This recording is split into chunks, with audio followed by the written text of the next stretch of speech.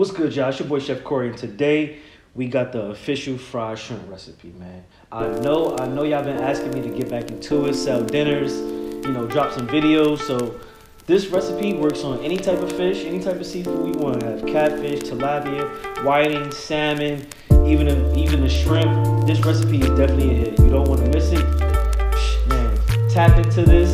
Go to the grocery store. Go get the items right now. You might even have these items